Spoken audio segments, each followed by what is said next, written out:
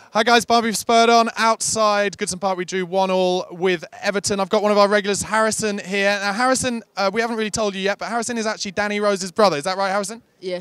Okay. And what's it like? What's the what's the ma- what's he like? He must be a bit disappointed to be not starting games like this. I would have thought.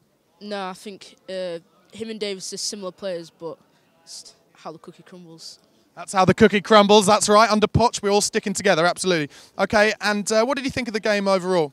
I think first half Spurs started well and lucky to not be two or three up, but second half that they were poor and uh, Everton Everton just couldn't. That final ball just didn't have it.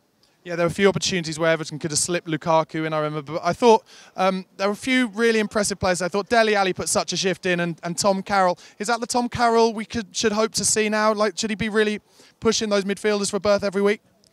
Yeah, but like Pochettino's philosophy is like if you're doing well, you stay in the team until you make the mistake for someone to then come back in. So I think he'll stay in the team until Dembele comes back.